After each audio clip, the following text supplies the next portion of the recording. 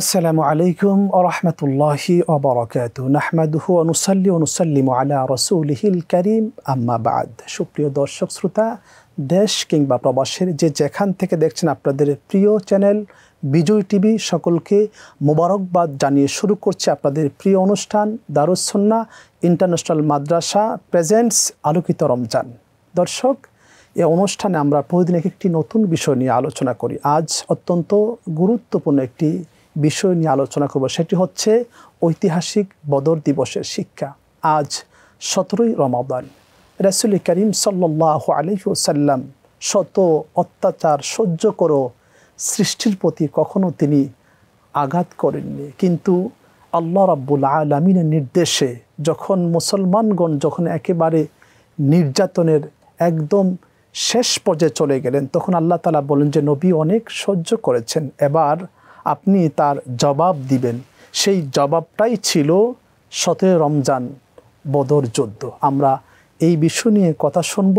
এই বিষয়ে কথা বলার জন্য আমাদের বিজয় টিভির স্টুডিওতে যিনি উপস্থিত হয়েছেন, আমাদের সকলের পরিচিত মুখ, বিশিষ্ট মিডিয়া ব্যক্তিত্ব, ঢাকা বিশ্ববিদ্যালয়ের ইসলামের ইতিহাস ও সংস্কৃতি বিভাগের সম্মানিত সাবেক chairman professor doctor Atuar Rahman Miaji sir.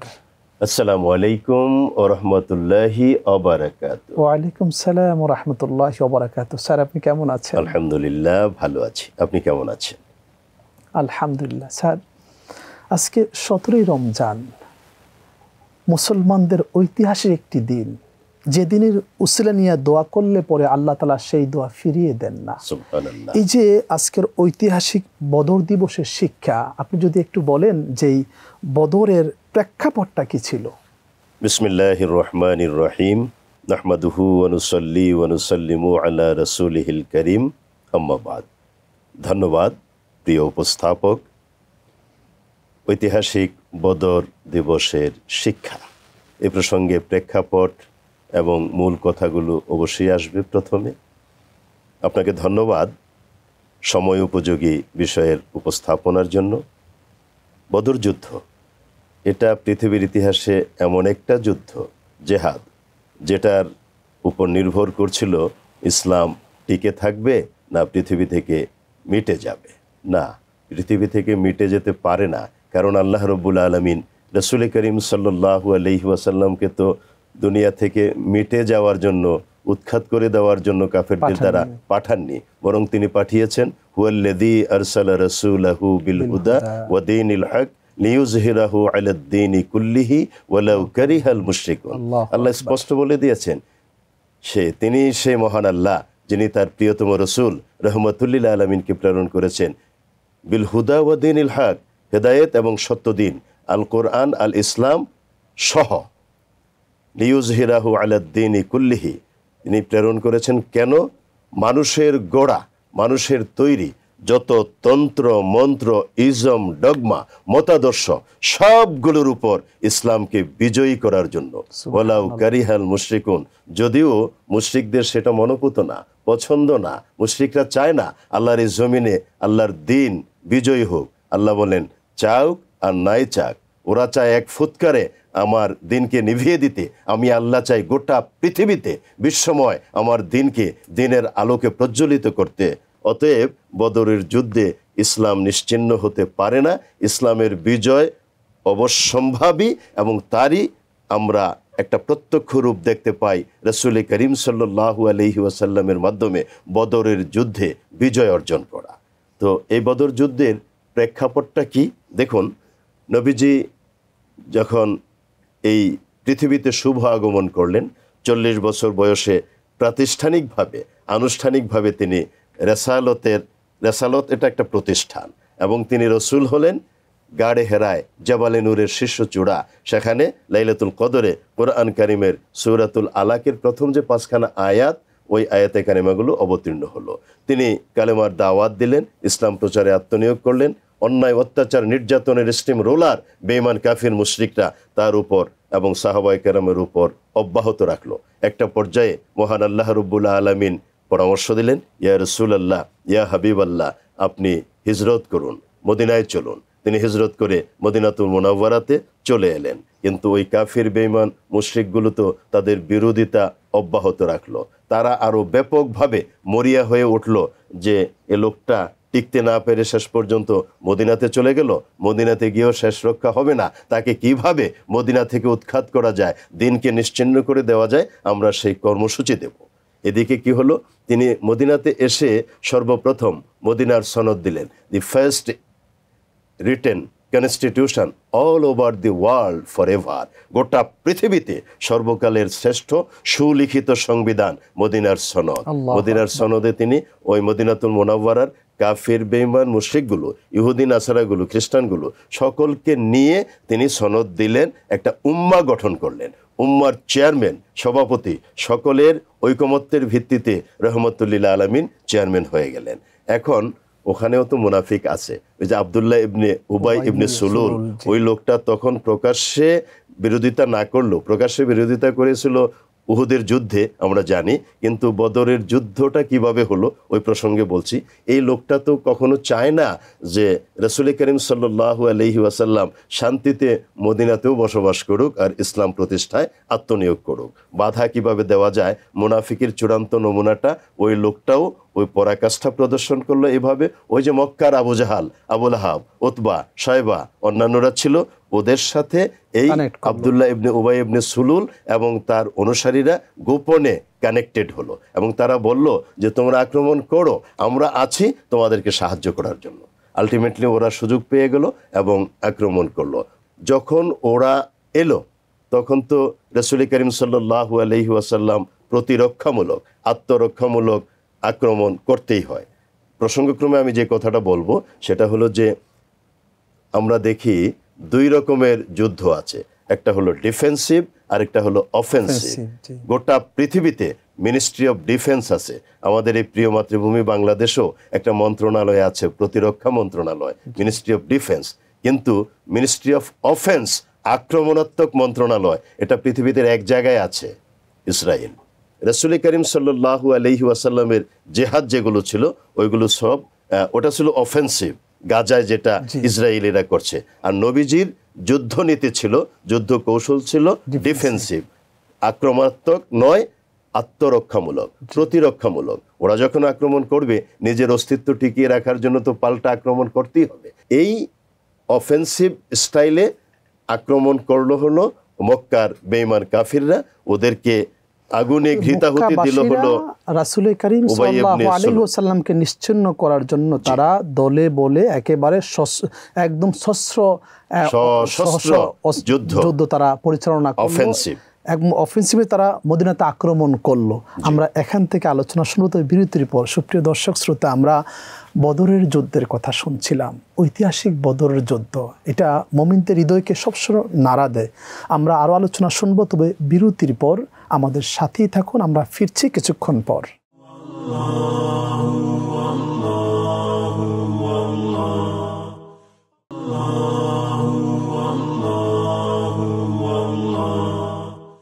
আলহামদুলিল্লাহ, সুপ্রিয় দর্শক শ্রোতা, বিরতির পর ফিরে আসলাম আপনাদের প্রিয় অনুষ্ঠান দারুসন্না ইন্টারন্যাশনাল মাদ্রাসা প্রেজেন্টস আলোকিত রমজানে। স্যার, আপনি চমৎকার বলছিলেন যে মক্কাবাসীরা যারা অমুসলিম ছিলেন, তারা রাসুল করিম সাল্লাহ আলিউসাল্লাম সহ মদিনার একেবারে যারা দুর্বল ছিলেন, তাদেরকে পৃথিবী থেকে নিশ্চন্ন করে দেওয়ার জন্য, আল্লাহর দিনকে, কোরআনকে উৎখাত করার জন্য তারা আক্রমণ চালালেন, যেখানে আপনি ছিলেন। জি। জি।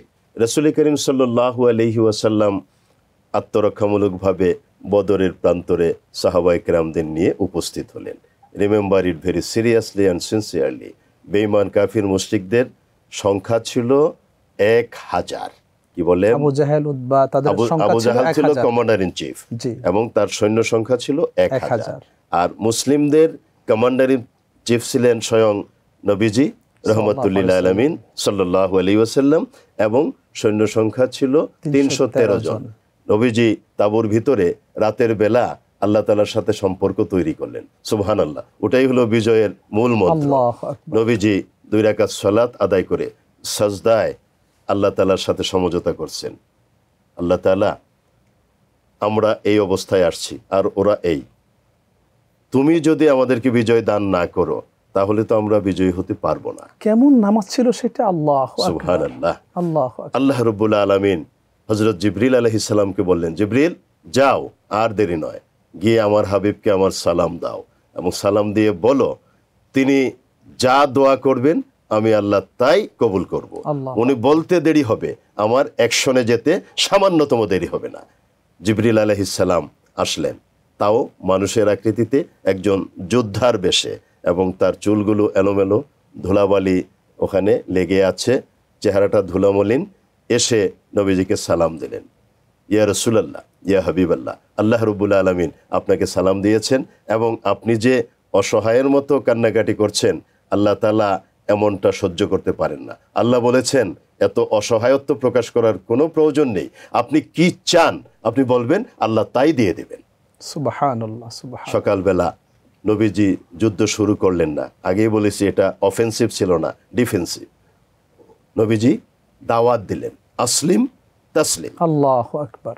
তার মানে যুদ্ধের ময়দানেও দাওয়াত দাওয়াত। আসলিম তাসলিম। আত্মসমর্পণ করো। শান্তিতে বসবাস করবে, সার্বিক নিরাপত্তা পাবে। কিন্তু ওরা দাওয়াতে সাড়া দিল না, নবীজি অপেক্ষা করছেন। ওরা আক্রমণ করল, এখন প্রতিরক্ষামূলক আক্রমণ। আলটিমেটলি ওই যুদ্ধে commander in chief Abu Jahl সহ আরও বড় বড় সবগুলো জাহান নামে চলে গেল। ওদেরকে হত্যা করা হলো, সত্তর জন হত্যা করা হলো, সত্তর জন বন্দী হলো। মুসলিম সৈনিকদের ভেতরে চোদ্দ জন শাহাদত বরণ করলেন, পনেরো জন ওখানে এদের কাস্টডিতে চলে গেলেন। রাসুল করিম সাল্লু আলহি ওয়াসাল্লাম ওদের যুদ্ধবন্দীদেরকে নিয়ে মদিনাতুল মোনাব্বারাতে প্রত্যাবর্তন করলেন। দেখুন, যুদ্ধবন্দীদের সাথে রহমতুল্লিল আলমিন কি আচরণ করেন? গোটা পৃথিবীর মানুষ এটা দেখার দরকার। আন্তর্জাতিক পরিমণ্ডলে ইসলামই একমাত্র শেখাতে পারে রসুলের আদর্শই একমাত্র এই মেসেজটা দিতে পারে। যুদ্ধবন্দী হলেও তারা তো মানুষ সুতরাং তাদের সাথে মানবীয় আচরণ করো। মানবিক মূল্যবোধ ওই ক্ষেত্র প্রতিষ্ঠা করো। স্যার এখানে যে বিষয়টা সেটা হলো যে মাত্র তিনশো তেরো জন সৈন্য নিয়ে রাসুল করিম সাল্লাহ সাল্লাম আল্লাহর সাথে সম্পর্ক থাকার কারণে বিজয় লাভ করলেন যেখানে সত্তর জন অমুসলিম বন্দী হলেন সত্তর জন তারা নিহত হলেন এবং মুসলমান মাত্র চোদ্দ জন শাহাদ বরণ করলেন। এই যে সত্তর জন যারা বন্দী হলেন তাদেরকে মদিনাতে নিয়ে- যাওয়া হলো। তাদের সাথে কি আচরণ করা হলো এবং এর ফলাফলটা কি আসলো আমাদের? আমি সেই কথাই বলছি। এই যে নিয়ে যাওয়া হলো দেখুন এখন আন্তর্জাতিকভাবে স্বীকৃত ছিল যুদ্ধবন্দীদের মুক্তির দুইটা উপায়। এক হলো যুদ্ধ পণ যদি ওই পরিমাণ অর্থকড়ি বা সম্পদ দিতে পারে এর বিনিময়ে মুক্ত করে দেওয়া। আর রসুল করিম সাল্লাহু আলহি ওয়াসাল্লাম ওখানে বেছে নিলেন একটা পদ্ধতি। সেই পদ্ধতিটা হলো তোমরা যারা যুদ্ধবন্দী শিক্ষিত তোমরা যদি আমাদের মুসলিমদের যে বাচ্চা কাচ্চা যারা আছে শিশু ছেলে মেয়ে ওদেরকে প্রতি দশজন শিশুকে শিক্ষা দেওয়ার বিনিময়ে তুমি মুক্ত।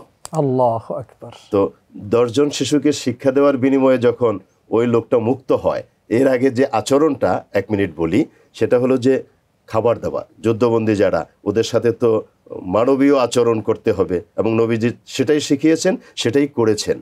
খাবার দাবারের ক্ষেত্রে মুসলিমদের যথেষ্ট সংকট ছিল। সেই সংকটপূর্ণ অবস্থাতেও রসুল করিম সাল্লু আলহি ওয়াসাল্লাম বললেন, সাহাবিরা, তোমরা যদি খাবার কম হয়, তাহলে প্রয়োজন বোধে তোমরা না খেয়ে থাকবে। একটা খেজুর খাবে এক গ্লাস পানি খাবে কিন্তু যারা যুদ্ধবন্দী ওদেরকে পেট ভরে খাওয়ানোর দায়িত্ব আমি রহমতুল্লিল্লাহ আলমিনের। ওদের যাতে খাবার দাবারে কোনো কষ্ট না হয় ওদের যাতে বসবাসে কোনো কষ্ট না হয় যখন কোনো প্রোগ্রামে যেতেন দূরে যেতেন ওদের সহ তখন নবীজি বলতেন বাহন সংখ্যা যেহেতু অতি অল্প ওদেরকে বাহনে আগে জায়গা করে দাও। এরপরে যদি থাকে তোমরা বাহন ব্যবহার করবে না হয় তোমরা হেঁটে যাবে। সুহান আল্লাহ এই যে আচরণ এই ধরনের আচরণ এবং দশজন শিশুর শিক্ষা দেওয়ার বিনিময়ে তাদেরকে মুক্তি করে দেওয়া। ওই সত্তর জন যারা মুক্ত হয়েছিল এর একজনও ওই মক্কাতুল মোকাররময় ওদের গোত্রের কাছে ফিরে যায়নি। ওরা বুঝতে পারল মানবীয় আচরণ রহমতুল্লিল আলমিনের কাছে আমরা যা পেয়েছি আমরা মদিনাতে থেকে যাব আমরা মুসলিম হয়ে যাব আমরা স্বীকৃতি দিলাম লা ইলাহা ইল্লাল্লাহু মুহাম্মাদুর রাসূলুল্লাহ সাল্লাল্লাহু আলাইহি শুনছিলাম আর আমার চোখ দিয়ে পানি পড়ছে আসলে যে প্রিয় দর্শক দেখুন রাসুল করিম সাল্লাহ আলী আসলামের আদর্শ কেমন ছিল? বন্দীদের সাথে কীরকম আচরণ তিনি করতেন? আমরা আরও আলোচনা শুনব আমাদের সাথেই থাকুন। যাচ্ছি ছোট্ট একটি ব্রেকে ফিরছে কিছুক্ষণ পর।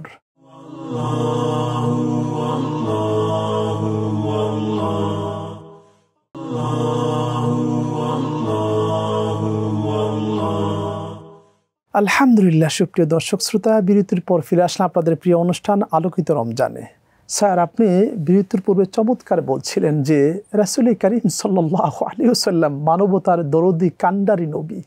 যে নবী সৃষ্টির সকলের জন্যই রহমত, তিনি যুদ্ধবন্দীদেরকে নিজে না খেয়ে খাওয়িয়েছেন, নিজে না পড়েও তিনি পড়িয়েছেন।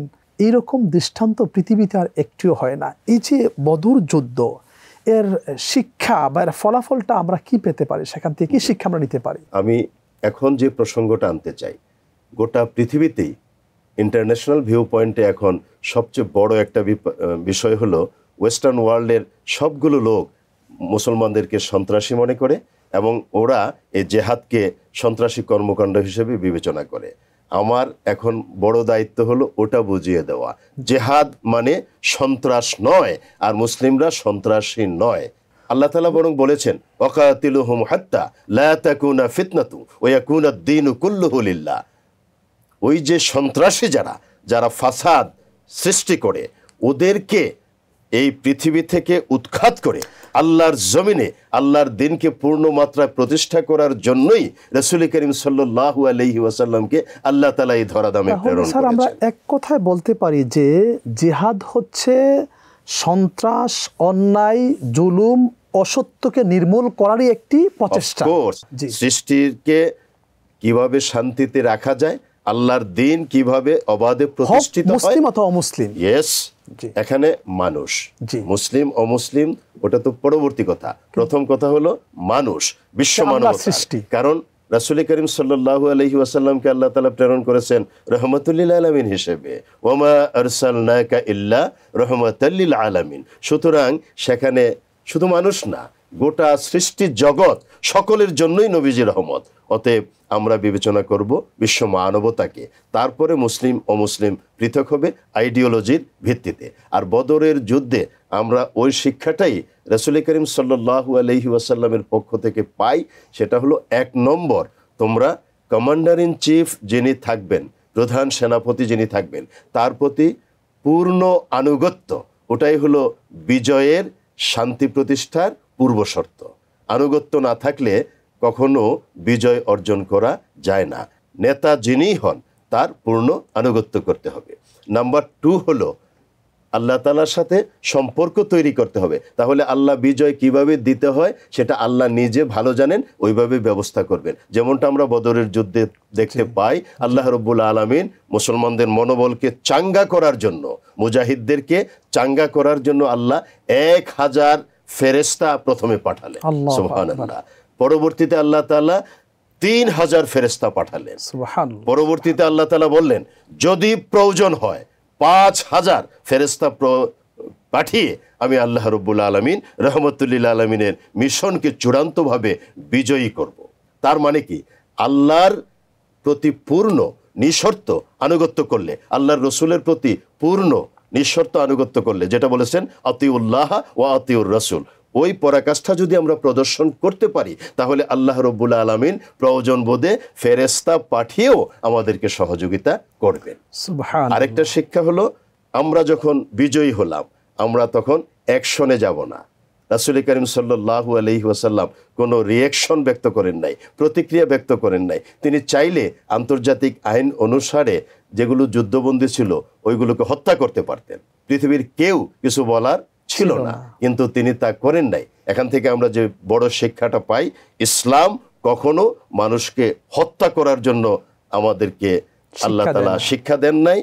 বরং যেটা আমার পরম শত্রু ওই শত্রুকে ভালোবাসা আন্তরিকতা হৃদ্যতা আমার সুন্দর আচরণ এগুলো দিয়ে কীভাবে বন্ধুত্বে রূপান্তরিত করতে পারি ওই শিক্ষাটাই রসুল করিম সাল্লাহু আলহি ওয়াসাল্লাম এই বদরের যুদ্ধে আমাদেরকে শিখিয়েছেন। চমৎকার বলছেন স্যার আপনাকে অসংখ্য মুবারকবাদ আমাদেরকে এত সুন্দর আলোচনা উপহার দেওয়ার জন্য। আপনাকেও অনেক অনেক ধন্যবাদ। লাখো দর্শক শ্রোতাকে আন্তরিক মোবারকবাদ। সুপ্রিয় দর্শক শ্রোতা বধুর যুদ্ধ এটা মুসলমানদের একটা চেতনা। মুসলমানদেরকে উজ্জীবিত করে রাসুল করিম সাল্লাহ আলিহসাল্লামের সাহাবিগণ, প্রিয় নবী সাল্লাহ আলিউসাল্লামকে কতটা ভালোবাসতেন, কতটা আন্তরিক ছিল। এখান থেকে আমাদের শিক্ষা হলো, যদি আমাদের ইমান আকিদা ঠিক থাকে এবং আল্লাহর প্রতি আমাদের অগাধ বিশ্বাস থাকে, রাসুল করিম সাল্লাহ আলী সাল্লামকে আমরা প্রচণ্ড পরিমাণ মনে প্রাণে ভালোবেসে ওনার সুন্নাকে আমরা অনুসরণ করতে পারি এবং আমাদের ইবাদত বান্দিগুলি রাসুলের সুন্না অনুসারে হয়, তাহলে আল্লাহ সুবাহানাহু তালার পক্ষ থেকে অবশ্যই বিজয় আসবেই আসবে। আজও যদি আমরা সেই পথকে অনুসরণ করতে পারি, পৃথিবীর কোনো শক্তিই সত্যকে কখনো রিমুভ করতে পারে না, সত্যকে কখনো দূরীভূত করতে পারে না, সত্যকে কখনোই তারা পৃথিবী থেকে উৎখাত করতে পারে কারণ সত্য এসেছে মানুষকে মুক্তি দেওয়ার জন্য। সুপ্রিয় দর্শক, এই জন্য এই বদর যুদ্ধে বুখারি সনন হাদিসগঞ্জ দেশে যারা এই দিনে বদর যুদ্ধের উসিলায় দোয়া করবে আল্লাহ তালা তাদের দোয়া ফিরিয়ে দিবেন না। আল্লাহ তাদের দোয়া কবুল করবেন। এই জন্য আসুন, বদরের শিক্ষা থেকে আমরা শিক্ষা নেই। বদরের যোদ্ধা থেকে আমরা আমাদের জীবনকে পরিচালিত করি যে মুসলমান কীভাবে যুদ্ধ করবে, মুসলমান কীভাবে যুদ্ধকে তাদের, তারা তাদের ব্যবহার করবে, তাদের কথাবার্তা আচার আচরণ যেগুলি দেখে অমুসলিমরাও তাদের কাছে এসে বলে যে, আমি আপনার ইসলামকে গ্রহণ করতে চাই। সুপ্রিয় দর্শক, আপনাদের কাছে আমরা এই মেসেজটুকু দিতে চাই। আমাদের এই এই অনুষ্ঠানের মাধ্যমে যে আল্লাহ সুবহানাহ তালা আমাদেরকে মুসলমান বানিয়েছেন, মুসলমানের চরিত্র হলো পৃথিবীর সর্বশ্রেষ্ঠ চরিত্র। মুসলমান কখনো তারা মাতানত করতে পারে না, মুসলমান কখনো হারতে পারে না, কারণ তাদের জন্য আল্লাহ সুবহানাহু তালা সব সময় সাহায্য রেখেছেন, আছে, থাকবে। আসুন আমরা এই প্রতিপাদ্যের বিষয়ে মনে ধারণ করে আমরা বদর দিবস থেকে শিক্ষা নেই এবং রাসুল করিম সাল্লাহ আলী সাল্লামের প্রতি প্রচণ্ড ভালোবাসা আমরা আমাদের বুকে ধারণ করব। আল্লাহ সুবহানাহু তালা আমাদের সবাইকে বদরের শিক্ষা অর্জন করার তৌফিক দান করুক। সুপ্রিয় দর্শক, শ্রোতা, দেখতে দেখতে আপনাদের প্রিয় অনুষ্ঠান দারুসন্না ইন্টারন্যাশনাল মাদ্রাসা প্রেজেন্টস আলোকিত রমজানের একেবারে শেষ পর্যায়ে চলে এসেছি। আজ এখানেই বিদায় নিচ্ছি। আগামী পর্ব দেখার আমন্ত্রণ জানাচ্ছি। আল্লাহ হাফেজ। Allah.